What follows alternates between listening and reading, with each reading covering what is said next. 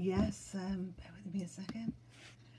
Uh, yes, um, good evening. Um, I would like to welcome Julia Stuckey. Actually, I've, I've sent an email. You may not have got my email either, um, but um, I would like to wish you luck as um, town clerk.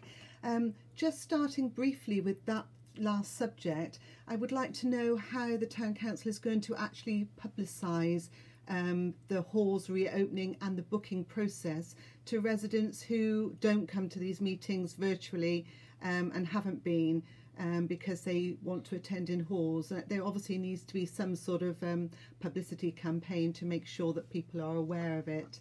Um, you know, posting on social media, making sure that it goes in the North Somerset Times. That's um, crucial.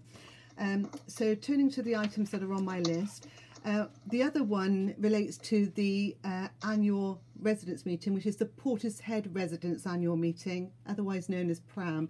It is really important having the, the, the, the sort of meeting titled in the correct way. This was the title that was decided on by the public at one of the uh, previous uh, Portishead Residents annual meetings, and it's really important that that title is correct. It saves any confusion with regard to the annual town council meeting. Uh, so I would like that corrected on the website and in any uh, publicity material, please.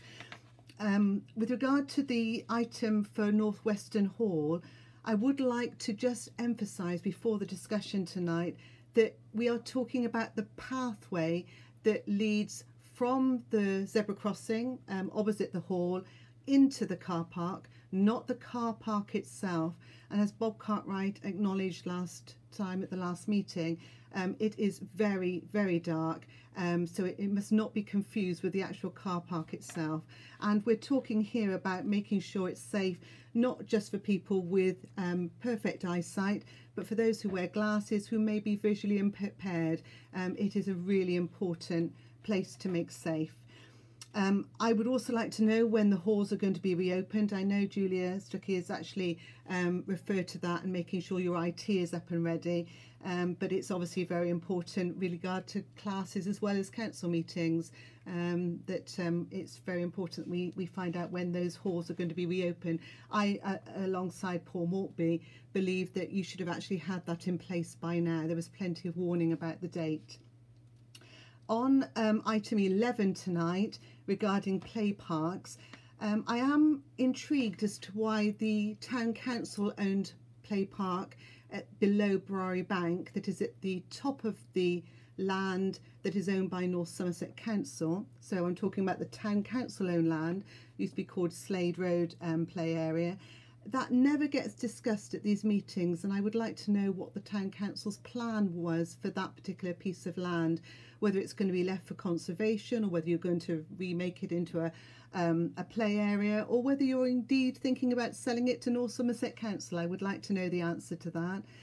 And um, then finally, I wonder, Ben, whether you could confirm, please, um, having seen the false information which we raised at previous meeting regarding the Portishead Independent Party social media page with regard to the discussions about town council having uh, discussions about leasing or buying land at Merlin Park for a BMX pump track.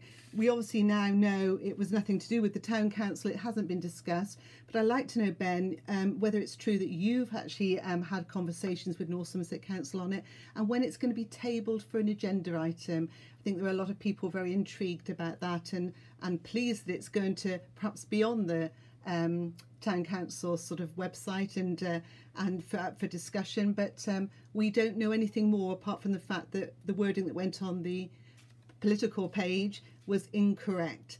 Um, but any information you can give us on that would be very much appreciated. Thank you.